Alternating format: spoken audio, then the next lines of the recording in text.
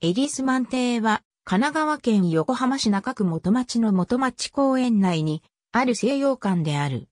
スイス人貿易商、フリッツ・エリスマンの邸宅として、1925年から1926年にかけて山手127番地に建設された。設計はチェコ出身の建築家アントニン・レーモンド。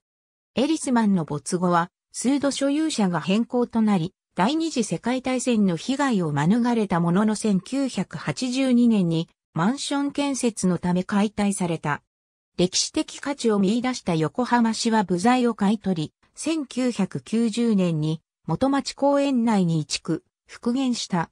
2001年には横浜市認定歴史的建造物に選定されている。地上2階、地下1階建ての木造建築で、施工は清水組。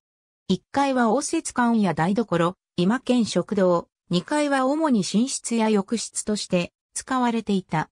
移築前は和館が併設されていたが、部材が残っておらず復元されなかった。設計者のアントニン・レーモンドは、フランク・ロイド・ライトが1919年に帝国ホテル建設のため来日した際に助手として連れてきた建築家である。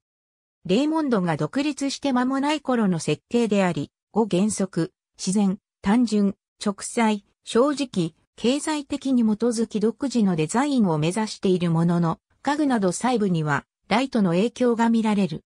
屋根の勾配を緩くし、1階と2階の間に日差しを設け、水平性を強調する衣装とした。外壁は、1階は垂直方向の片はめ板張り、2階は水平方向の下見板張りとして変化をつけている。2階の2箇所に壁面を交代させて、バルコニーを設け、寄せ棟作りの屋根を眼光させて単調な脳が叩いとすることを避けた。窓など、開口部は大きく取られ、青緑色の鎧戸がしつらえられている。前館にスチーム暖房が採用されていたが、セシュのリクエストにより応接間に暖炉が設けられた。エリスマンの妻が日本人であったことから、浴室とトイレはそれぞれ独立した作りになっている。現在は元町公園の施設として館内を無料で見学できる。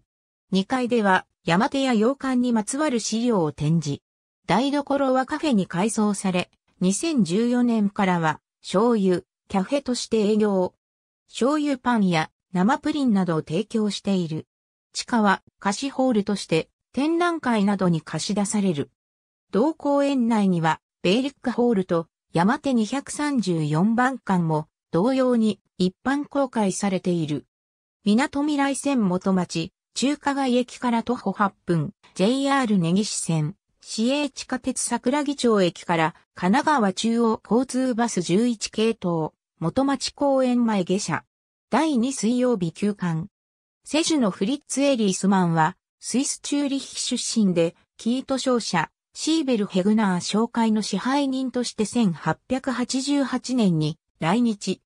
1940年に亡くなるまで日本で暮らし、没後は横浜外国人墓地に眠っている。フリッツ・エリスマンに関するカテゴリー。ありがとうございます。